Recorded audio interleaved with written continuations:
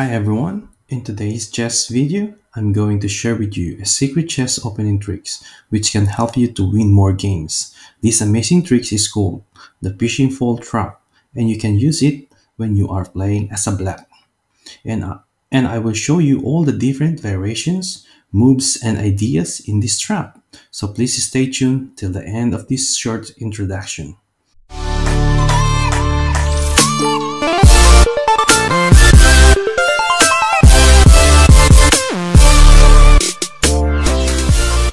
Chess friends, I'm Joe Pita. If this is your first time on this channel and you want to learn some cool chess tricks and become a better chess player, then start now by subscribing and clicking the bell so you don't miss any of the videos. Today in this video it revolves around the Ruy Lopez opening. So let's get straight into it. The Ruy Lopez is very popular opening and start with e4 and e5. The knight f3, knight c6, and then bishop b5. White main idea here is to capture the knight and then takes the e5 pawn. After this, we continue with the knight f6 to attack the e4 pawn. This is called the Berlin defense or Berlin variation and it was played by Stockfish and Alpha Zero in 2017 December 4 in London, England. Alpha Zero won in this game. Now, a very common move you will see from white will be to castle or safety in the king's side. Many of you might be wondering, why would white castle? He should instead save his pawn on e4.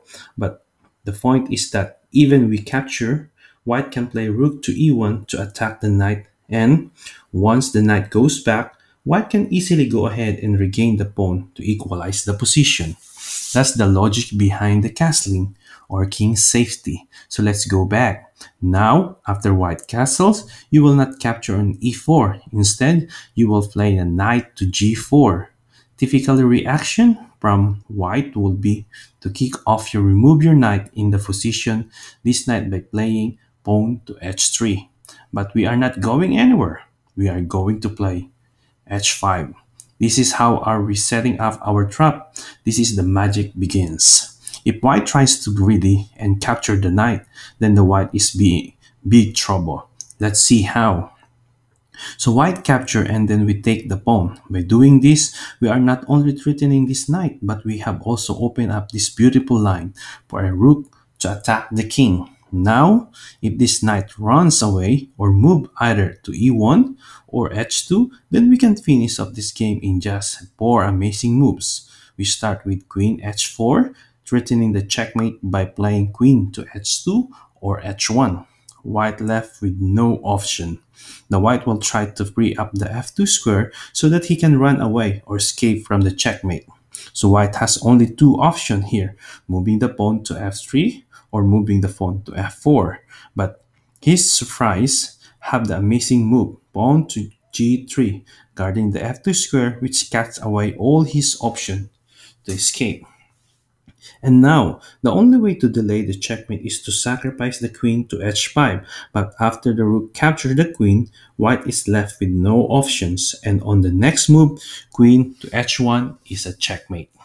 Now, let me go back and show you another cool variation. From here, quite often you might see white playing to rook to e1.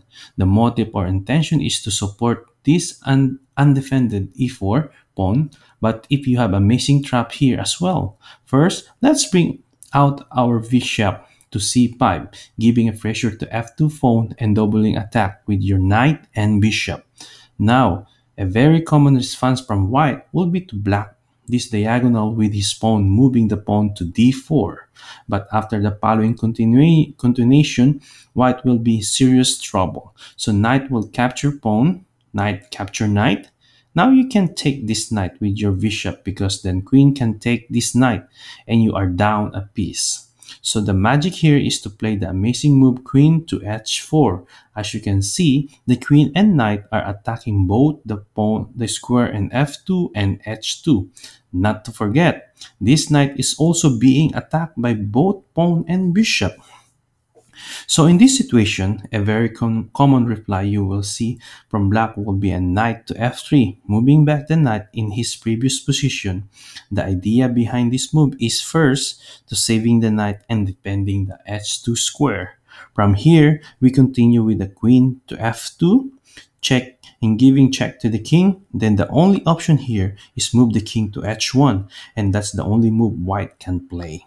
And now we play this stunning move again queen to g1, giving a check to the king and h1 and sacrificing the queen. It doesn't matter if white takes the queen with the rook or the knight because we have this absolute amazing move again.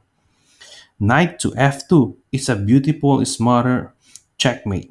Let me know in the comment if you have been successfully in playing the fishing pole trap.